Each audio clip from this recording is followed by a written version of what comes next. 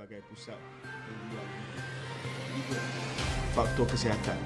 Bila berlaku banjir, biasanya juga berlaku peningkatan dari segi penyakit-penyakit.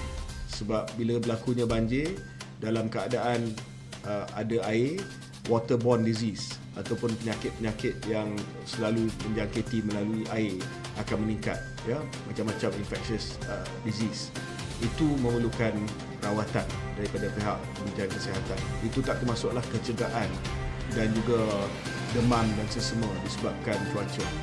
Jadi dari segi kesihatan dari segi Kementerian Kesihatan memanglah dari segi kesesuaian diadakan pilihan raya waktu musim banjir ini tak sesuai